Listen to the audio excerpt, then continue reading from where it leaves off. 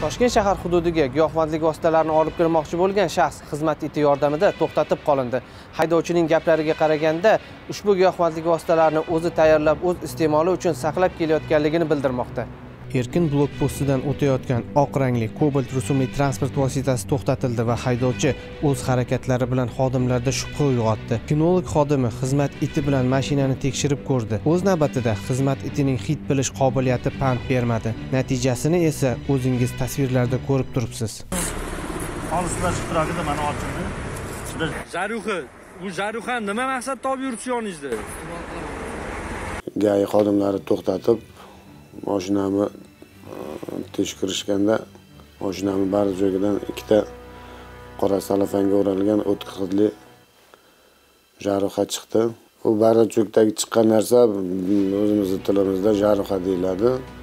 E, edi. Uni o'zim shu ariqlarni chetidan yovvoyi o'sgan narsalardan olib o'zim tayyorlab o'zim iste'molim uchun o'zim yasaganman u narsani.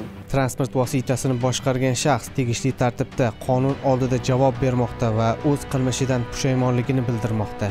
Mazkur holat yuzasidan Sergeli tumani Ichki ishlar organlari faoliyatini muvofiqlashtirish boshqarmasi tergov bo'limi tomonidan O'zbekiston Respublikasi Jinoyat kodeksining 276-moddasi 2-qismi A bandi, ya'ni giyohvandlik vositasini ko'p miqdorda o'tkazish maqsadini ko'zlamay qonunga xilof ravishda saqlash bo'yicha jinoyat ishi qo'zg'atilib, hozirda tergov harakatlari olib borilmoqda. men bu ishimdan pushaymonman men bu ishlarimni bilardim pushaymon bo'lishimni to'xtatolmasdan o'zim mana shunaqa qilib yurdim.